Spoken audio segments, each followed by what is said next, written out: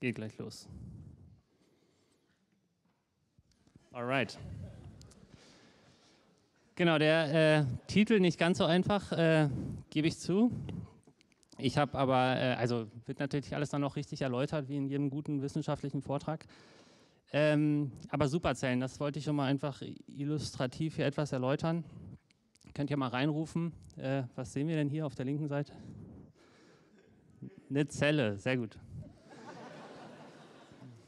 Und auf der rechten Seite, Vorsicht, jetzt Trickfrage. Super, genau. Also, äh, mit diesem äh, kleinen Spaß äh, zum Beginn, äh, genau, wollte ich ein bisschen die Stimmung auflockern. Jetzt geht es natürlich sehr ernst weiter. Also, wie schon gesagt wurde, ähm, ich war in Berlin, habe da promoviert am Max-Planck-Institut für Infektionsbiologie und wir haben uns eben unter anderem mit Superzellen beschäftigt. Was genau bestimmte Zellen so super gemacht, ist, gemacht hat, das ist das, was wir uns angeschaut haben im Labor. Mit diversen Vergrößerungsgläsern haben wir auf Zellen draufgeschaut, in Zellen reingeguckt und versucht zu verstehen. Wir hatten nicht immer diese super Hüte auf, aber sehr wohl diverse Vergrößerungsgläser äh, benutzt, Mikroskope, Lupen eher selten. Äh, und genau, und haben wir da versucht, ein bisschen den, den Superzellen insbesondere auf den Leib zu rücken, die zu verstehen. Ähm, wie gesagt, am MPI für Infektionsbiologie ging es viel natürlich um Infektionserreger. Es ging aber auch darum, wie der Körper auf Infektionserreger reagiert, also um, um Körperzellen. Es war also sehr viel diese Auseinandersetzung, Körperzellen gegen kleine böse äh, Erreger, Bakterien, was auch immer. Äh, damit ihr auch direkt versteht, wer der Gute hier ist in der Geschichte heute, habe ich das äh, so mit so einem kleinen Heiligen, Heiligenschein markiert. Und Bakterien natürlich immer klassisch äh, ganz kleine gelbe Zähnchen und, und böse Augen, kennt man ja von ihnen. Genau. Aber natürlich können nicht alle Zellen im Körper sich mit Bakterien beschäftigen, mit Erregern. Äh, Körperzellen sind ja sehr spezialisiert. Es gibt die, die Leberzellen, die Hirnzellen, äh, die Herzzellen und so weiter. Alle sind mal mehr, mal weniger gefordert. Ähm, genau, für, für äh, die Erregerbekämpfung gibt es eben die Zellen des Immunsystems. Außerdem sind auch nicht alle Zellen einfach nur blaue leere Kreise. Das ist euch wahrscheinlich ja auch schon klar gewesen. In Zellen ist auch noch was drin, zum Beispiel blaue leere Kreise. So, so, würde, so würde jetzt ein Zellkern aussehen, wenn man von oben auf die Zelle guckt normalerweise. Äh, also auf jede x-beliebige Zelle, sage ich mal. Es gibt aber auch Zellen, da sieht der Zellkern so aus, dann spricht man von lobuliert oder gelappt. Und einen solchen Zellkern findet man in Neutrophilen. Und Neutrophile, wie ihr hier schon im Titel seht, sind wahre Superzellen. Äh, Neutrophile sind äh, Zellen des Immunsystems und Neutrophile sind eben sehr gut darin, Erreger zu bekämpfen. Äh, wie sie das genau machen, das ist auch Thema meiner Doktorarbeit gewesen. Bevor wir aber dazu kommen, ein kurzer historischer Exkurs zu der Frage, wie kamen Neutrophile eigentlich zu ihrem komischen Namen? Habt ihr euch jetzt wahrscheinlich auch schon gedacht, äh, genau, also wie kamen sie zu ihrem Namen? Wahrscheinlich habt ihr euch schon gedacht, Neutro, irgendwas mit äh, neutral, viel von Griechisch, Philia, Liebe. Ganz klar, die Neutrophile sind sehr unromantisch, denen ist die Liebe einfach total egal. Aber nein, weit gefehlt. Äh, die Neutrophile lieben alles, was neutral ist. äh, das, äh, genau, muss man jetzt auch noch etwas, äh, etwas erläutern. Kann auch nicht so für sich stehen. Dafür gehen wir etwas weiter noch zurück ins Jahr 18, 1880 zu diesem Herrn. Paul Ehrlich, seines Zeichens Wissenschaftler in Berlin an der Charité, hat äh, auch diverse Vergrößerungsgläser zur Verfügung gehabt für seine Arbeit hatte also Mikroskope, hatte ähm, Blutproben von gesunden, aber auch kranken Probanden, äh, hat in diesen Blutproben eben die äh, Blutzellen und dazu gehören auch die Immunzellen untersucht und hatte zwei verschiedene Farbstoffe zur Verfügung, mit denen er diese Zellen angefärbt hat, einen basischen und einen sauren oder aziden.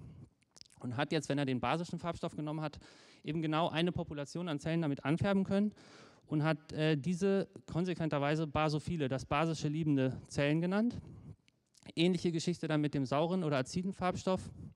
Und dann hat der äh, konsequenter Wissenschaftler, der er war, beide Farbstoffe gemischt und hatte dann eben eine neutrale Mischung, also basisch plus sauer und wiederum Zellen, eine ganz bestimmte Population konnte er damit färben.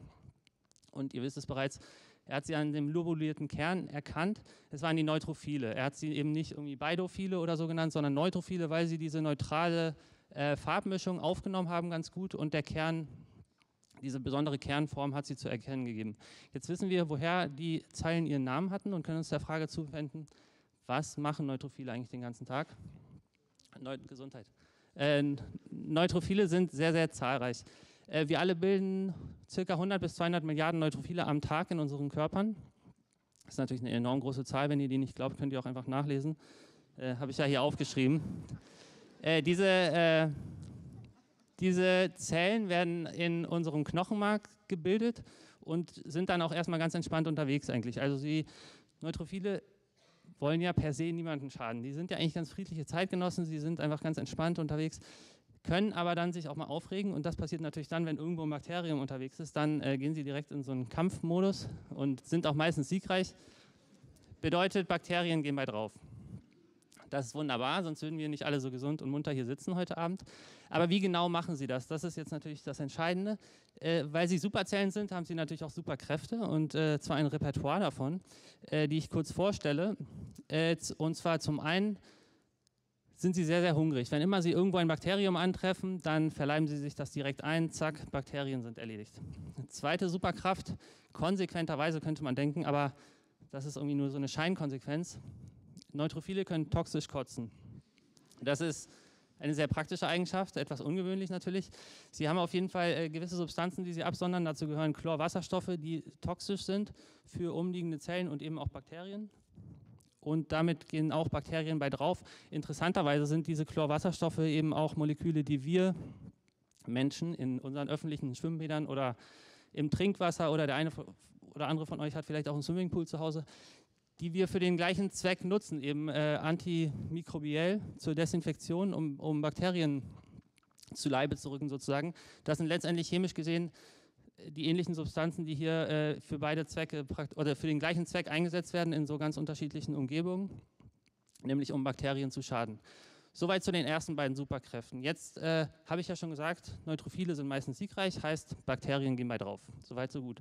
Was ich nicht gesagt habe, häufig gehen leider auch die Neutrophile bei drauf. Oh. Genau, ist traurig. Ist aber so, äh, was soll ich sagen, das sind die Tatsachen. Und weil es so viele Neutrophile gibt, äh, die müssen ja alle irgendwo hin. Ne? Die Neutrophile sitzen jetzt äh, in unserem Körper, die müssen abgesondert werden. Deswegen gibt es irgendwie eine eigene Körperflüssigkeit, die zum Großteil aus toten Neutrophilen besteht. Jetzt dürft ihr mal raten, was das wohl ist. Der Eiter, sehr gut. Genau, Eiter, äh, und jetzt wisst ihr auch, warum ihr euren Pickeln danken solltet, ne? weil es ist ja letztendlich nichts anderes als äh, Millionen und Hunderte von, von, Millionen von Neutrophilen, die sich aufgeopfert haben für euch, um euer Leben und eure Gesundheit zu retten, praktisch. Äh, das sind dann alle in so einem Pickel gelandet. Aber jetzt wären Neutrophile nicht Neutrophile, wenn sie es nicht geschafft hätten, noch irgendwie aus so einem Sterbeprozess äh, etwas zu machen, womit sie den Bakterien richtig zu Leibe rücken. Das Resultat dieses Prozesses seht ihr hier im Hintergrund. Eine grüne, netzartige Struktur. Äh, Im Vordergrund ein Bakterium, was sich darin sozusagen verfangen hat. Und diese Struktur im Hintergrund nennen wir nicht nur, oder sie sieht nicht nur aus wie ein Netz, sondern wir nennen sie auch so nach dem englischen Namen Neutrophil Extracellular Traps ist das die Abkürzung. Das heißt so viel wie Neutrophil außerzelluläre Zellen, äh, Fallen, sorry. Und das ist eben der Name für eine, für ein, eine Substanz oder ein, ein Makromolekül, könnte man sagen, was zum einen netzartig aussieht und gebildet ist, das habt ihr gesehen, zum anderen garniert ist mit eben toxischen Stoffen, diesen Chlorwasserstoffen und so weiter und mit äh, molekularen Scheren. Also ein sehr ungemütlicher Ort für Bakterien. Ähm, möchte man tunlichst nicht reinkommen als Bakterien.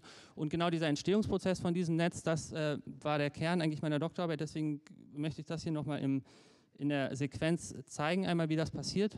Äh, es geht halt immer los mit einem Neutrophil, also man hat diesen lobulierten Kern. Ich habe ihn jetzt noch gefüllt mit, mit DNA. Wie jeder gute Zellkern hat auch der neutrophilen Zellkern DNA äh, in sich. Und wenn jetzt so ein Netz gebildet werden soll, äh, geht es damit los, dass der Kern erstmal sich rundet, sieht dann also aus wie jeder x-beliebige äh, Kern in einer Zelle, aber es hört nicht damit auf, er schwillt an, wird größer, füllt die ganze Zelle auf, aus, bis sie dann schließlich platzt und zurück bleibt eben so ein Gemisch aus DNA, äh, da, danke, schreck lass nach.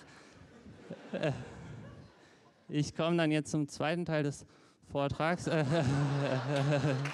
Okay. okay. Äh, genau, also garniert DNA, garniert mit toxischen Molekülen. Ähm, und das ist, was wir ein Netz nennen. Das ist äh, etwas sehr Ungemütliches für Bakterien. Und dem einen oder anderen ist jetzt vielleicht schon aufgefallen, hier ist DNA in einer anderen Funktion beschrieben. Also nicht als Speichermedium für Erbinformationen, sondern praktisch als physische Waffe, die man irgendwie so einem Gegner entgegenschleudert. Ein äh, ungewöhnliche Nutzung von DNA, äh, eher so wie ein römischer, äh, also ein Gladiator in einer, einer, römischen Arena ein Netz eingesetzt hätte. Ich bin jetzt äh, am Schluss, möchte noch ein Video zeigen äh, von diesem Prozess. Äh, da haben wir, hier, hier, tanzt schon jemand. Genau, wir haben die Kerne gefärbt. Äh, wir äh, bringen dann ein Molekül rein, was eben diese Netzbildung auslöst. Und dann könnt ihr hoffentlich sehen, wie die Kerne rund werden, sich ausplatzen. Und, und platzen gibt noch einen Farbumschwung und damit bin ich auch durch. Genau, ich hoffe, ich konnte euch überzeugen, Neutrophile sind super Zellen, wenn es darum geht, Bakterien zu bekämpfen. Und ich hoffe, in Zukunft beim Anblick eines Pickels werdet ihr innehalten und mit Dankbarkeit und Ehrfurcht reagieren. Danke euch.